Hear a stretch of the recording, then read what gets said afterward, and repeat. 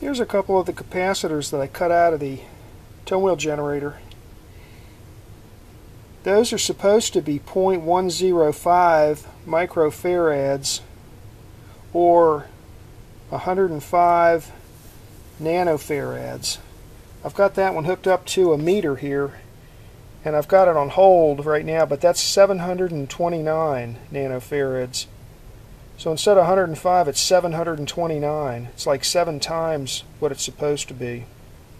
So that's the reason that I replaced these. These things are supposed to be close to their uh, stated value because they're used in tuned uh, circuits in the tone wheel generator. Well, when you've got a capacitor that's seven times what it's supposed to be, the tuning is way, way off from the tone wheel frequency.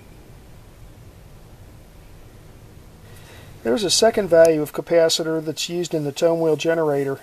That one should be 255 nanofarads and that one's measuring 850. So there's another example of how far off these have drifted in 60 years.